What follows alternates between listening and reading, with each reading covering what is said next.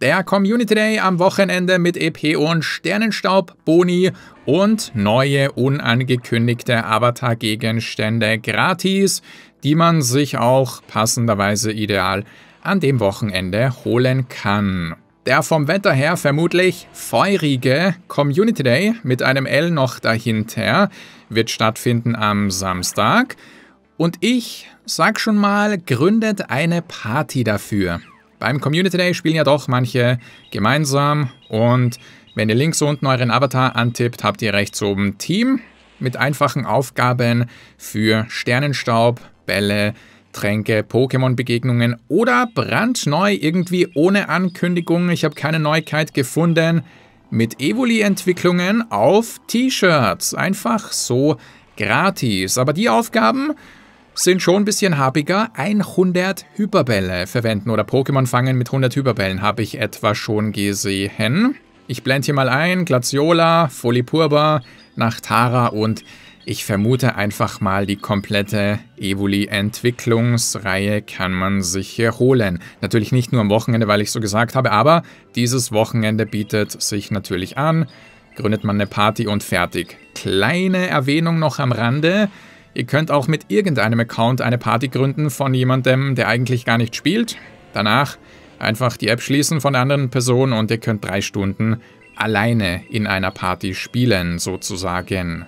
Früher, so vor ein paar Wochen, habe ich eher von Teams abgeraten, noch, weil da gab es Fehler, wo man dann bis zum Ende des Teams nicht mehr weiterspielen konnte. Das war sehr ärgerlich. Mittlerweile sind die eigentlich behoben. Also, am Samstag ein klassischer Community Day mit Feuriegel. Classic deshalb, weil wir ihn in der Vergangenheit schon mal hatten. Der Nostalgie halber kann ich mal die alte Grafik einblenden. Ja, richtig gelesen. November 2018. So lange spiele ich und spielen wir schon Pokémon Go. Damals, oh, das sehe ich jetzt erst gab es auch die doppelten EP beim Fangen und den doppelten Sternenstaub beim Fangen. Cooles Easter Egg von Niantic, weil üblicherweise haben wir ja dreifach irgendetwas. Das finde ich gerade echt genial und ich habe noch eine weitere Sache, wo ihr euch vielleicht denkt, hä? Ich bin schon so lange Pokémon-Fan und wusste das nicht. Die üblichen Boni aber in kleiner Variante, weil es eben nur ein klassischer Community Day ist und nicht normal mit den Bonbon-Boni und so weiter, die gibt es nicht. Fünf Snapshot-Überraschungen aber auch, wo man dann Feurigel auf der Karte fangen kann, pusht ein bisschen die Photobomb, Farbigel, Medaille. Showcases wird es geben. Da hat Niantic aber in der Season ein bisschen den Rhythmus geändert. Die finden von Samstag bis Sonntag statt. Also man könnte dann, stimmt, man könnte dann auch noch tauschen. Und irgendjemand gibt euch ein paar XL oder XXL Feurigel Soweit ich informiert bin, ich bin ja nicht unbedingt der Tauschprofi, kann man getauschte Pokémon auch in Showcases, bei Showcases anmelden. Angemeldet und angekündigt wurde auch die Ladeattacke Loe Kanonade, die man unbedingt bei Tornupto haben möchte. Allerdings nur, wenn man es per Entwicklung erhält und hier auch nur unter Anführungszeichen bis 19 Uhr. Also Achtung, nicht wie bei einem normalen Community Day noch 5 Stunden. Ganz viele Feuriegel werden 3 Stunden lang auftauchen mit erhöhter Shiny Chance. Wer seine Bonbons und die EP erhöhen möchte, Feuriegel nur vom Typ Feuer. Wir haben in Pokémon Go 4 oder 5 Mega-Entwicklungen, Mega Glurak X und Y, Mega Hundemon, Mega Logok und Proto Graudon auch noch. Momentan Eviltal und Mega Glurak Y sogar im Raid. Aber wer parallel raiden möchte, da fällt mir kein Pokémon ein, welches irgendwie brauchbar wäre. Eine Proto-Graudon kann man machen, wenn man das dann ins Team hinein nimmt. Einfach an letzte Stelle packen. Bekommen alle im Raid gegen Eviltal etwa einen Schadensbonus unabhängig des Typen. Das haben Protomorphosen so an sich. Nebenbei erwähnt wird am Freitag, einen Tag vor dem Community Day, ein Event starten, nämlich Schmorende Schritte. Auch dort gibt es Boni, die doppelten Bonbons aus Eiern und die halbierte Brütdistanz, wenn man Eier im Event in die Brutmaschine legt. Und das überschneidet sich mit dem Community Day. Folglich hat man hier wieder einige Boni auf einmal. Was kann Tornupto? Ja, nicht viel. Da muss ich, glaube ich, nicht mal eine Grafik einblenden. Ich meine, ich kann die Sortierung von Pokémon Go haben. Tornupto sehr weit unten. Krypto-Tornupto. Wenn man das hat, ja, aber kann man ja nicht beim Community Day fangen oder so. Doch wer sich ein paar Feuriegel aufgehoben hat in der Krypto-Variante, nun bitte entwickeln für die Attacke. Aber Obacht, man erhält eine Event-Ladeattacke bei Krypto-Pokémon nur, wenn sie Frustration nicht erlernt haben. Sprich, wenn man die irgendwann in einem Team Go Rocket Event weggemacht hat. Bitte verwendet nicht eure guten Krypto-Feuriegel mit, keine Ahnung, PvP, IV oder so, wenn die noch Frustration haben. Ich weiß, frustrierend, aber das besagt ja schon der Name. Folglich im Raid auf keinen Fall brauchbar, mit der Sofortattacke einäschern, aber wirklich stabil, vielleicht sogar gegen Team Go Rocket, wenn ihr relativ neu seid, gegen die Pflanzenrüpel oder sogar Stahl überall, wo Feuer effektiv ist. In der Go-Kampfliga laut dem Ranking eigentlich mickrig und ich spreche nicht von dem Käfer-Pokémon, vielleicht in der Hyperliga noch ein bisschen höher, doch in der Praxis außerhalb von so simulierten Kämpfen mittlerweile wirklich stark, denn es hat eben als Sofortattacke Einäschern, die verursacht mächtigen Schaden und brandneu seit himmlisches Teamwork auch Donnerschlag als Ladeattacke. Und wenn man zweimal Einäschern macht, hat man schon die Ladeattacke erreicht.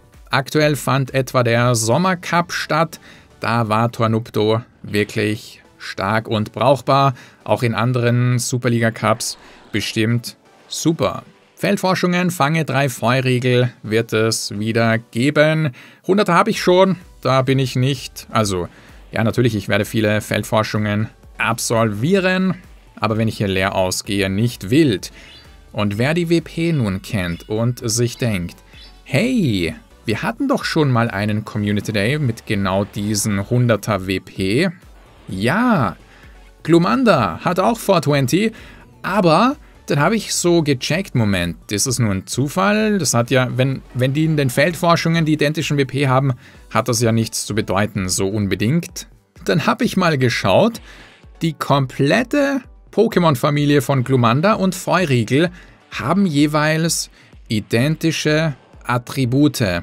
Glumanda sowie Feurigel, Glutexo sowie Igellava und Glurak sowie Tornupto. Und ja, ich war heute Jahre alt, als ich das erfahren habe.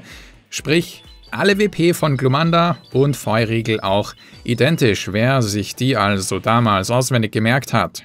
Aus welchem Grund auch immer. Der kann nun so richtig profitieren von den Lorbeeren. Und dann natürlich auch folglich die PvP-IV. Und ich bin kein Schnorrer, wie wir wissen, sondern ein Sporer, ein Sparer. Und ich habe mir einfach erspart, dass ich die Grafiken neu erstelle. Folglich hier sogar noch von Stadium Gaming Rank Checker. Mittlerweile verwende ich eher IV4U. Aber damals beim Glumanda Community Day Classic habe ich hier die, das sind eigentlich die Glurak PvP e.V., aber ich habe das nochmal mit jedem Rang überprüft. Wirklich identisch Glurak und Tornupto. Finde ich irgendwie cool, wenn man sowas weiß. Also wer ein bisschen an der Go-Kampfliga interessiert ist, dieses Pokémon sollte im Repertoire nicht fehlen und wenn, dann eben mit Loe Kanonade, zweite Ladeattacke mittlerweile Donnerschlag empfohlen. Dann hat die Feurigel-Familie oder Tornupto ja auch noch so etwas an sich, nämlich in der Hisui-Region. Hisui Tornupto. Da gab es mal einen Raid Day. Kann man nicht per Entwicklung oder so erhalten, sondern da muss man vermutlich wieder warten, bis Niantic dieses Pokémon irgendwann in den Raid steckt. Aber, na, unterm Strich, wenn also die Bonbons, die teilen sich die ja. Das ist kein anderes Pokémon, sondern die identische Familie und ein Hisui Tornupto benötigt auch Feurigel Bonbons. Hat mit dem Event, mit dem Community Day an sich eigentlich nicht viel zu tun, hm, doch erwähnenswert nebenbei, wie ich finde. Wir werden aber auch wieder ein Glücksei vernaschen, vor allem bei den doppelten EP. Direkt 14 Uhr bitte Glücksei aktivieren, Geschenke an Freunde schicken und dann auch öffnen mit welchen ihr nur noch einen Tag Interaktion benötigt für Level 3 und Level 4 und dann alle auf einmal abholen. Ich weiß, ein klassischer Community Day, doch der normale lag nun auch schon wieder zwei, drei Wochen in der Vergangenheit. Da hat äh, sich bestimmt ein bisschen was angespart und der im Juli, der dauert auch noch. Wann haben wir Juli? 21. Juli. Also ja, unbedingt Freundesaufstiege abholen. Nehmt diesen Spaß mit feurig, L, nicht auf die leichte Schulter, weil da sind wirklich in den vergangenen Tagen Temperaturen am Start. Handy wird heiß und wenn man da nicht mit Sonnencreme unterwegs ist, kann das in einem Shiny enden. Dann werdet ihr Shiny. Kappe, Sonnencreme, vielleicht Kühlpack oder irgendein Tuch. Immer kalt, feucht machen, aber bitte nicht mich verklagen, wenn euer Handy nicht wasserfest ist oder so. Und dann wünsche ich uns allen natürlich einen schönen Samstag mit vielen Shinies und hoffentlich auch einem Hunderter. Neue Textebene. Und hier kämpfe ich nun noch einmal aus Spaß an der Freude mit Tornupto im Sommercup, bevor er verschwindet. Ich glaube, wenn ich das Video hochlade, ist er schon weg. Mit einem Spaßteam dreifach einäschern. Genau. Und dieses Tornupto hat die Community Day Attacke Loe Kanonade und Donnerschlag, die neue Attacke, kann man mit einer normalen TM erlernen. Und eine schon finde ich wirklich spaßig irgendwie. Da kommt auch schon ein Schild Gehen wir mal rüber in ein anderes Einäschern-Pokémon und schauen, was hier so passiert.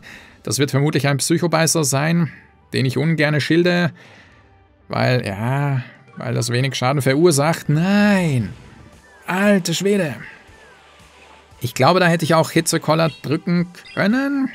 Ich weiß spontan gar nicht, was hier mehr Schaden verursacht. Aber beides dürfte... Okay, Schild bekommen wir sowieso. Folglich egal. Aber naja, wieso treffen wir auf ein Katapult-Pokémon, wenn wir dreifach Feuer spielen? Kann mir das irgendjemand verraten? Ich meine, ich kann hoffen, dass er irgendwie nicht schildert oder keine Ahnung, ich möchte, ich möchte nicht direkt aufgeben, aber das ist schon böse. Ich habe noch nie Castelletier gesehen. Ich meine, ich habe nicht so ultra viel im Sommercup gespielt, aber das ist ja wirklich... Okay, er schildert nicht. Einmal Uh, einmal Katapult kommt hier noch an. Mal schauen, ob Fiaro aufräumen kann. Was war vorne? Girafarik oder in Krypto? Komm schon, bitte irgendwas schwach gegen Feuer. Okay. Da werde ich einmal Schilden runterfarmen. Okay. Okay. Hallöchen. Hallihallöchen. Wie geht es Ihnen? Okay, aber Moment mal. Das ist alles nicht so effektiv. Oder hat das mittlerweile auch Donnerschlag? Nein! Nun müssen wir schauen, wer den Gleichstand gewinnt. Ich hat nicht Brigaron mittlerweile Donnerschlag erlernt? Ich glaube, in der Season hat genauso wie Tornupto haben einige Pokémon Donnerschlag erhalten. Ich verliere den Gleichstand. Ich hätte nicht schilden dürfen. Kraftkoloss hätte ich locker überlebt. Auf einmal fiel mir ein, äh, eventuell Dingenskirch. Oh, ich lebe noch. Ich lebe noch. Okay, ich lebe noch. Ich lebe noch. Also eine schon eine spaßige Attacke und Tornupto kann man schon in dem einen oder anderen Cup verwenden. Und während dieses Fiaro überlegt, ob es noch die Ladeattacke durchbekommt oder nicht, bedanke ich mich wie immer fürs Zusehen.